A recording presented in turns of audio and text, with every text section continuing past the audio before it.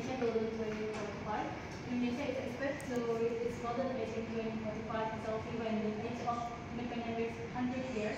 One of the big success of the Spirit Game is for its Spare is linked the key factor is education, and this could be an obstacle because the facility and the quality of education in Indonesia are not fully integrated. One of the government's efforts in the administration of education is to control the duration of a with minimal access to